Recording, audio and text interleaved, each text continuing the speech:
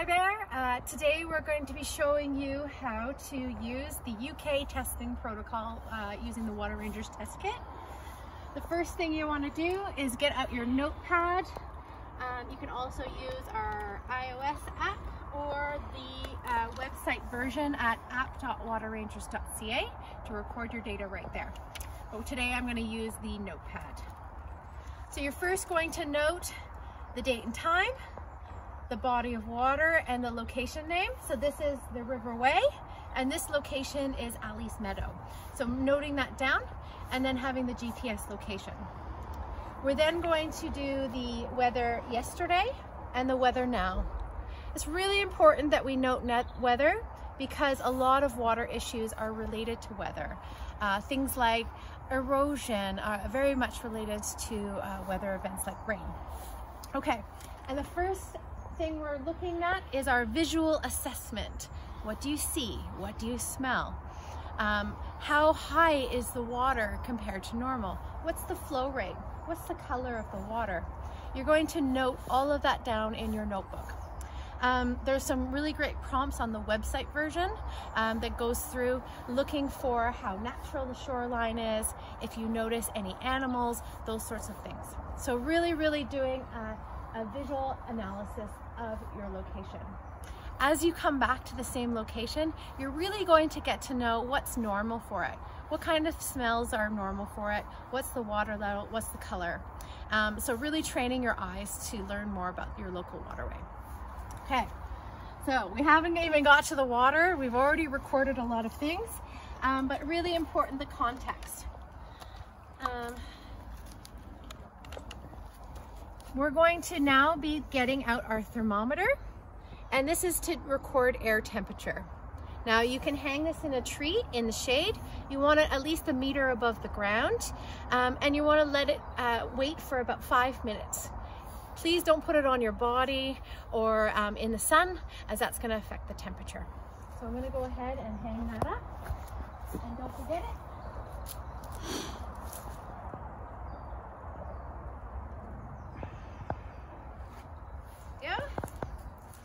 And then I'll go collect that at the end of my test. Now, get out your sample cup and your reacher stick.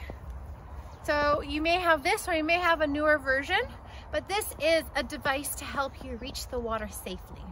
So you can attach the cup like this, and then you can extend Always make sure you test at the same location and then I'm going to take my sample. First, rinse your cup three times in the water that you're going to be testing. This makes sure if you have any, uh, you know, sunscreen on your hands that your sample won't be contaminated. And then I'm going to reach down 10 to 15 centimeters. 15 centimeters is optimal, but note the depth of your water if it's less than 15 centimeters, it's more important that you're not scraping the bottom. So I can reach down about 15 centimeters here and grab my sample. All right, so you can take the sample off or you can leave it on. I always recommend that you test with a friend and the reason is that a lot of this recording and doing this, you know, it really does take four hands. The first test we're going to be doing is our conductivity meter um, and temperature. And I'm going to press the top button once, just lightly once. It's gonna cycle through and then you're gonna notice um, two sets of numbers. We're gonna put that right in the water. Swish it around.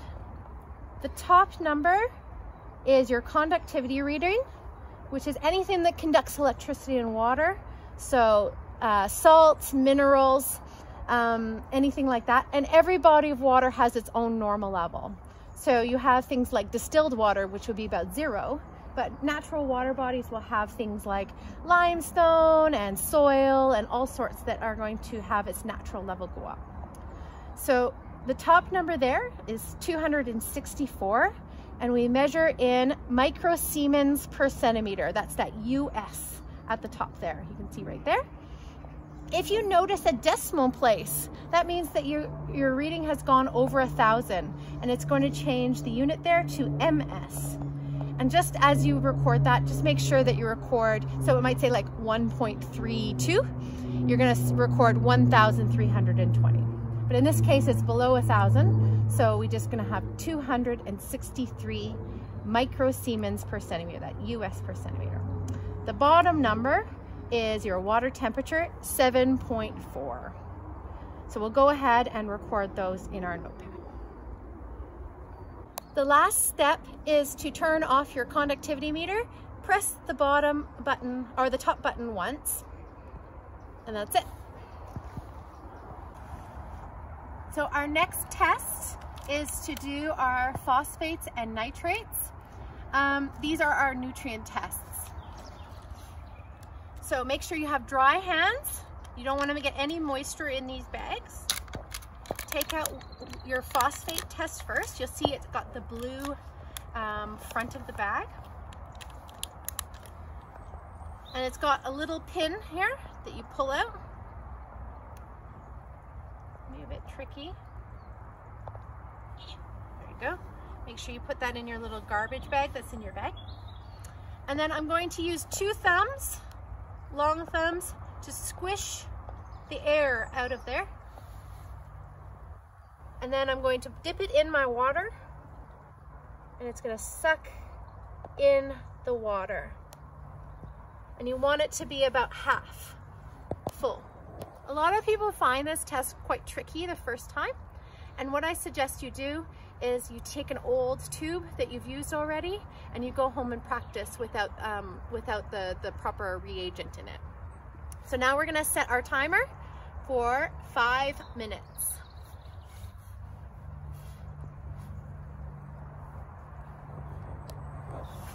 Yeah, so the phosphate test takes five minutes and our nitrate test takes three minutes. So what I usually do is I wait two minutes and then I do my nitrate test and then I can compare both uh, values at the end. Again, dry hands. You want to take out a sample, uh, a, a tube, remove the pin, two thumbs into the water, let go, and then we'll invert it. And now after uh, three minutes, we'll compare our results. So take out your comparison charts. And if you're unsure which of your tubes is the correct one, there is a little PO4 at the bottom here of the uh, phosphates and uh, an NO3 here at the bottom of the, the, nitrates. But you will probably notice that the nitrate is much pinker than the phosphates. And especially in our case, you're gonna look here, you're gonna see that the phosphates are pretty much below detection. So I would say that's below uh, 0.02. So I would probably record that as zero. Um, if you find that it's in between, then you can record the halfway point between. So let's compare now our nitrates. So I like to start at the bottom and slide up until I find where my match point is. And I believe that that would be probably between two and five. So this is another point where it's really great to test with a friend. Um, make sure that you both compare it and then you need to make sure that you agree. And it's gonna make you take the time to do your comparison. Okay, you're gonna put these little tubes here. You have a little envelope here. When you get home, you can squeeze the liquid out into your sink and these can be recycled. But I would encourage you to keep some of these so that you can train new volunteers with the, the ones that have been used. Okay, so go ahead and put those in your little recycling bag. The last test we have is with our test strips. Now, again, dry hands, open the lid, shake out one strip grab it. And what I'm going to do, I'm going to lift it up. What I'm going to do is I'm to dip it in for two seconds and then out. So one, two, out.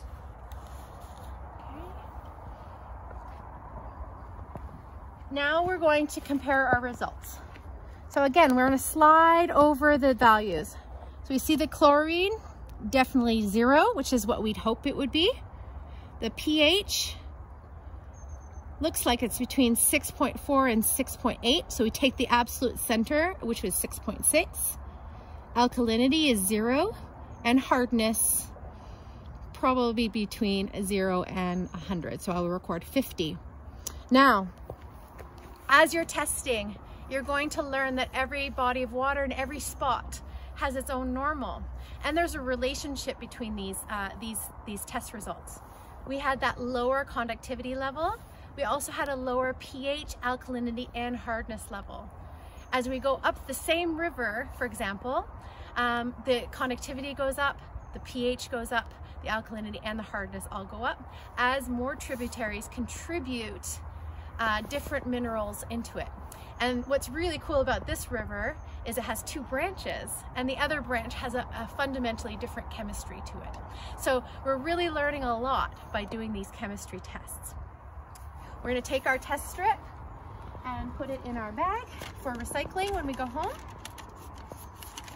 Make sure we record everything in our notepad. Dry off our reacher stick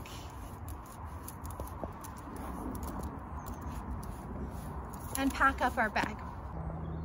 So in your test kit, you also have a guide and it has more information about how to do this entire protocol, including what's normal levels.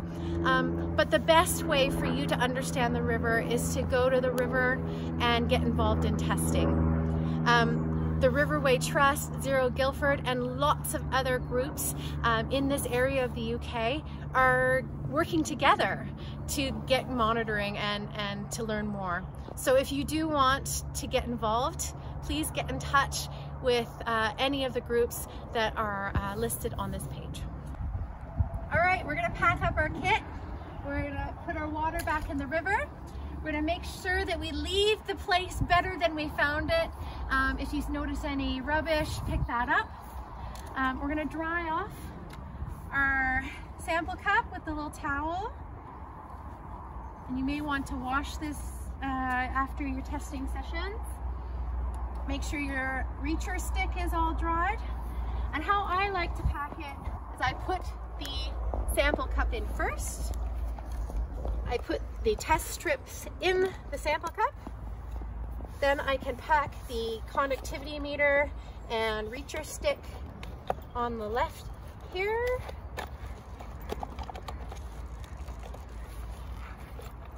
Then on this side, I have my notepad, my rubbish bag, my comparison charts, and my notepad here, pen, and then my nutrients. I usually put one on one side and one on the other. You can pack it however you like. That's the way I do it. And that's it.